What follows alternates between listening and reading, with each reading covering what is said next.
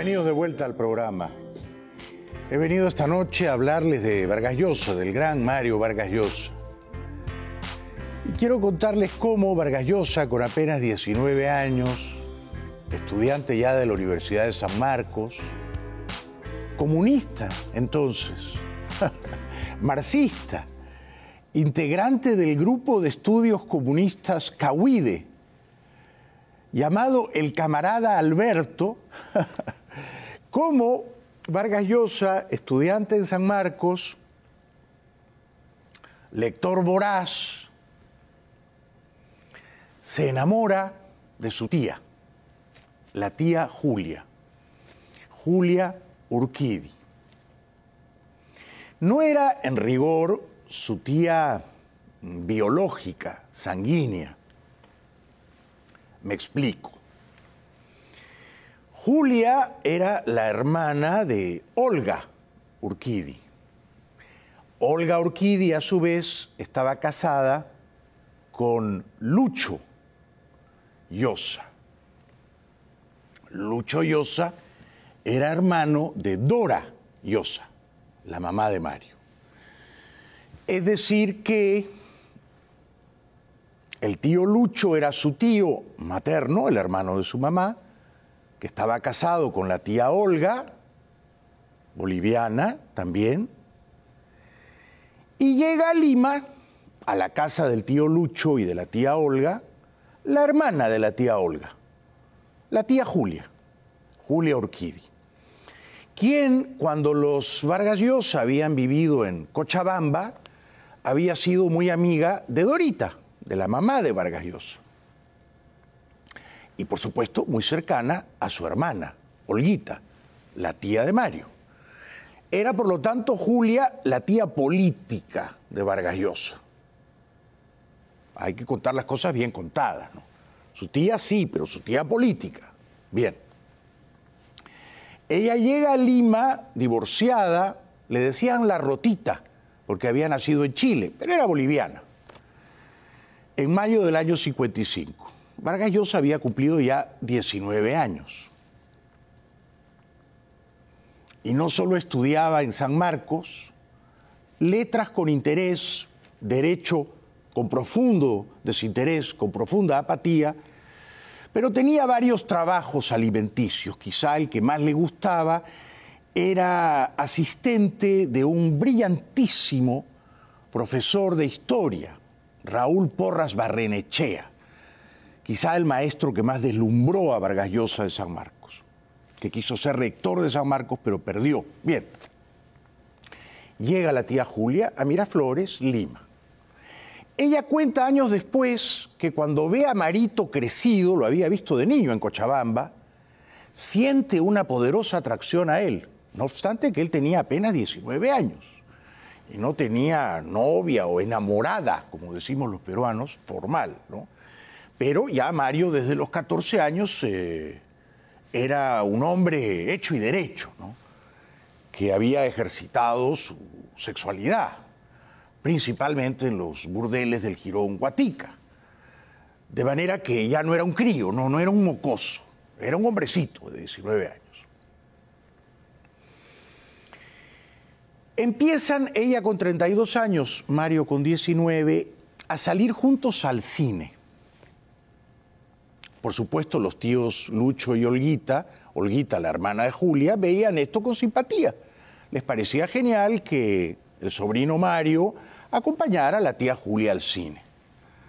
Iban al cine y entonces en el cine conversaban y, en fin, eh, compartían la pasión por las grandes historias, eh, por los melodramas.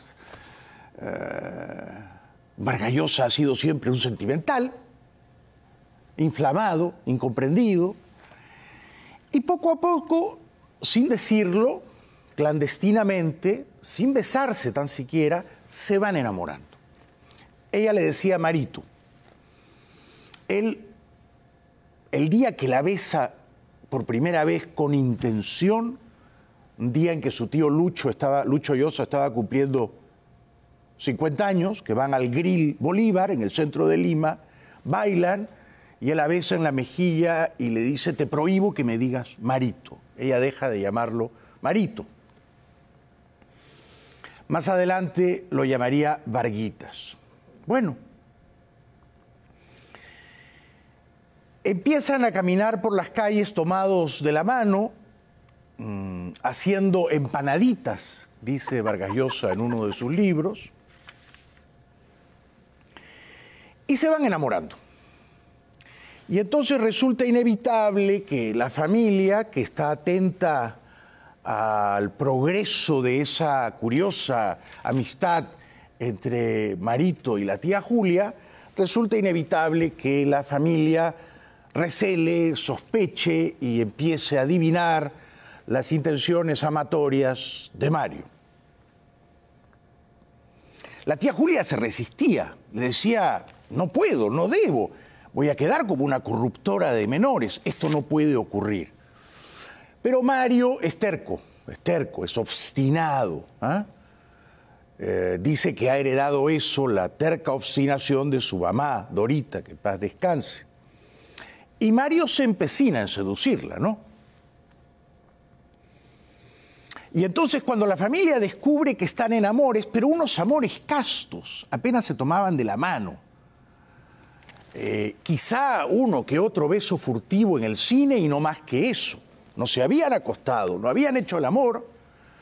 Bueno, la familia escandalizada le pide a Julia irse de Lima. Le pide a Julia que se vaya de regreso a Bolivia. Se lo pide su hermana Olga, su cuñado Lucho, en fin, la familia. ¿ah? En ese momento, Vargas Llosa afirma su hombría y le dice, cásate conmigo, no te vayas a Bolivia, cásate conmigo a pesar de que toda la familia se opone, la tía Julia, fascinada por la aventura, me parece, le dice a Vargallosa, si tú me juras que me vas a ser fiel por lo menos cinco años, que no te vas a enamorar de otra, bueno, ya, nos casamos. Por lo menos cinco años de fidelidad le pide. Porque ha ido a una bruja, a una vidente, y ella le ha dicho que después, más adelante, él que va a ser su esposo, como en efecto fue su esposo, se irá con una mocosita y tendrá hijos con ella. Y ocurrió con la prima Patricia, y a eso iremos luego. Entonces, con la ayuda inestimable de un gran amigo de ambos, Javier Silva, Javier Silva Ruete, que fue ministro de Economía en el Perú, huyen Mario y la tía Julia en un taxi a Chincha, al sur de Lima porque creen que el alcalde de Chincha los va a casar contra la ley, puesto que Vargas Llosa con 19 años era menor de edad. En aquel momento tenías que cumplir 21 para ser mayor de edad y casarte. Para casarte siendo menor de edad necesitabas autorización notarial de sus padres. Y era absolutamente imposible que el padre violento, iracundo, abusivo, incendiario que era Ernesto Vargas, le diera permiso a Mario para casarse con la tía Julia. Entonces no era posible legalmente. El alcalde de Chincha se intimida, se acobarda, no los casa, luego siguen buscando alcaldes. Entre los pueblitos aledaños encuentran a uno que por fin, en Grocio Prado, los casa. En la víspera, Hotel Sudamericano de Chincha hacen el amor por primera vez. En un hotelito, más o menos desangelado, pasan la noche. Vargas Llosa ha contado que hacen el amor toda la noche, varias veces, con una pasión irrefrenable. Se amaban. Bien, se casan, valientes, ¿no? Y regresan a Lima a enfrentar a la familia. La familia no solo eran los Llosa, que estaban escandalizados de que Marito se hubiera casado con la tía Julia, 12 años mayor que él, o 13, pero también sus padres, Ernesto y Dorita, que habían regresado de Los Ángeles. Ernesto denuncia ante la policía a Julia como corruptora de menores, pide que la arresten, que la detengan, una locura. Anda mostrando un revólver una pistola a medio mundo diciendo que va a matar a balazos a cinco tiros a su hijo Mario. Una locura. La tía Julia, aterrada, parte a Chile, la sube en un avión a Antofagasta Pero después regresa, cuando ya se han ido los padres, Ernesto y Dorita, a Los Ángeles. Y mal que mal, bueno, la familia, los Llosa, que me parece que eran juiciosos y de buen corazón y que adoraban a Mario, aceptan el matrimonio, el hecho consumado, ¿no? Y entonces Mario y Julia viven juntos. A Julia le habían dicho que ella no podía tener hijos. Esto se lo habían dicho en Bolivia, en su primer matrimonio. Sin embargo, queda embarazada. Es una gran felicidad. Una felicidad inesperada. Pero estando encinta y después de habérselo anunciado a la familia, a los abuelitos Pedro y Carmen, a los numerosos tíos Llosa, Julia Urquidi de Vargas, la señora de Vargas, pierde al bebé. Vargas Llosa, para ganarse la vida, no solo era asistente del profesor de historia, el gran Porras Barrenechea, tenía un montón de otros oficios. ¿eh? De hecho, cuando él se casa con Julia, su querido tío Lucho Llosa le dice que esto no te impida ser un escritor. Eh, y él le promete a Lucho Llosa, su tío, que era como, un padre para él, lo mismo que su abuelo Pedro, que será un escritor contra viento y marea. En algún momento Vargas Llosa tiene siete empleos, además de ser estudiante. Siete. El más pintoresco de ellos tenía que ir al cementerio a anotar las fichas de las lápidas, de los muertos, para llevar un registro ordenado. Y luego era bibliotecario y era escribidor y era todo lo que tenía que ser para ganarse la vida y para mantener a su esposa Julia. Pero Vargallosa y Julia soñaban con irse a París. Vargallosa soñaba con ser un escritor, un escritor a tiempo completo en París. Y entonces Vargallosa gana porque de vez en cuando publicaba cuentos en el comercio, en el suplemento dominical del comercio. Ahí estrena sus primeras armas literarias. Infrecuente, esporádicamente le publicaban un cuentito en el dominical del comercio. Vargallosa presenta uno de esos cuentos a un concurso literario auspiciado, creo, por la Embajada Francesa y lo gana. Y entonces, todos los gastos pagados, Vargas Llosa, ya casado con la tía Julia, viaja a París solo. Y lo hospedan en el Hotel Napoleón, un buen hotel, hotel de lujo, cerca del Arco del Triunfo dos semanas pagadas. Pero luego el tío Lucho le ha dado mil dólares a Mario, con lo cual él consigue pagar dos semanas más. Se queda un mes en el Hotel Napoleón, en París, solo. Muchos años después, la tía Julia ha contado en un librito despechado, vengativo, titulado Lo que Braguitas no dijo, que es su respuesta rencorosa a la tía Julia y el escribidor, que Vargallosa le confesó que la única vez que le fue infiel en todos los años que estuvieron juntos, que fueron ocho o nueve, ¿ah? desde el 55 hasta el 64, pasando por Madrid y París, fue ese mes en el Hotel Napoleón, cerca del Arco del Triunfo, con una prostituta de lujo.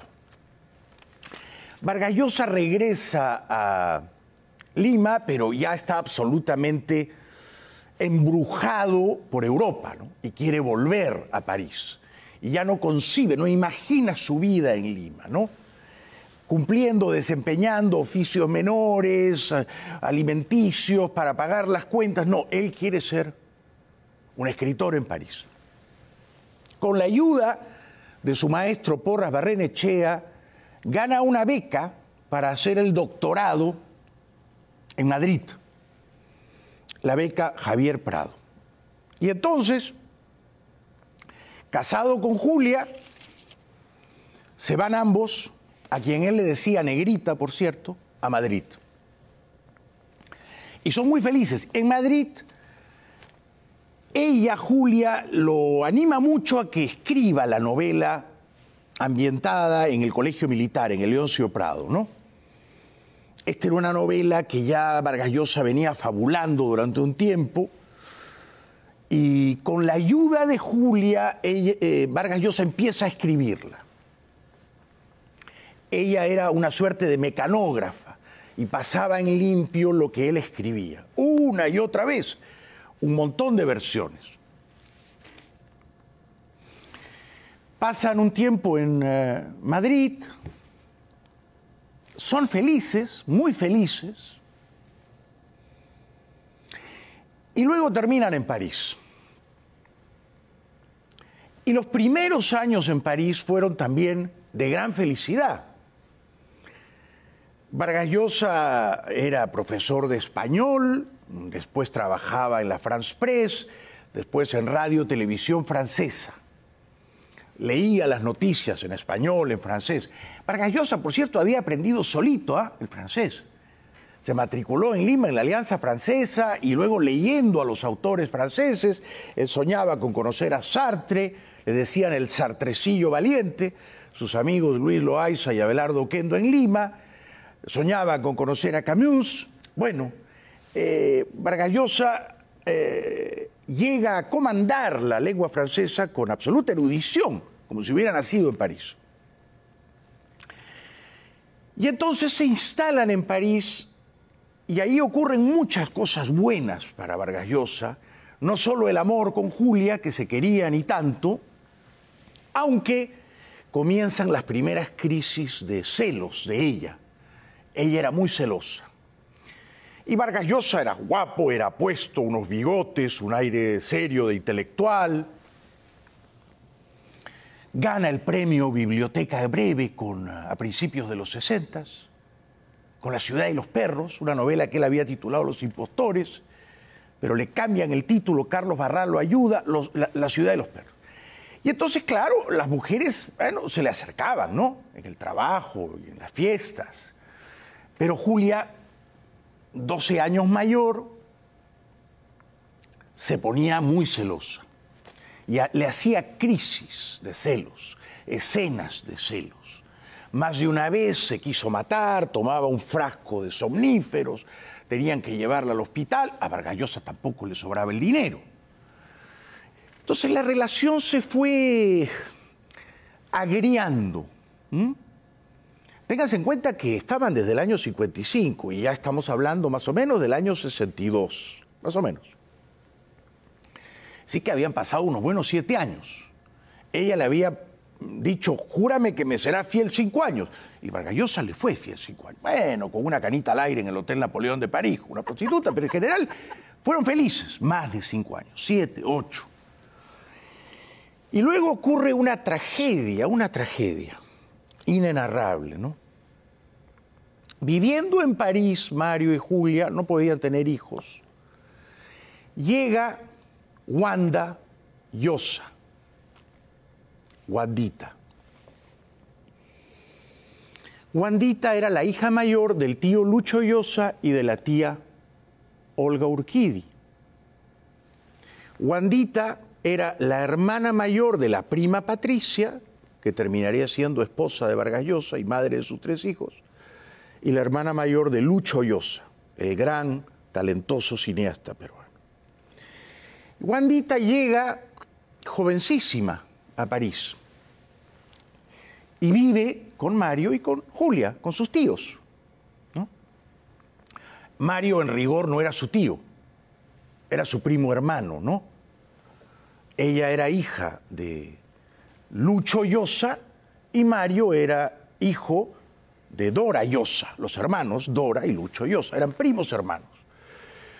Mario le llevaba unos ocho años y a Patricia, a la prima Patricia, diez años. Bueno, Wanda consigue un trabajo en la Embajada de Perú, era una jovencita llena de luz y de alegría, tenía un novio, pensaban en casarse.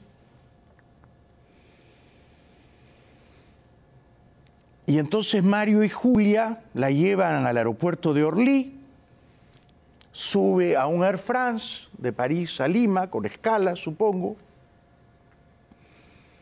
y el Air France desaparece. Wandita pierde la vida. Esa es una tragedia que no se puede siquiera describir, ¿no?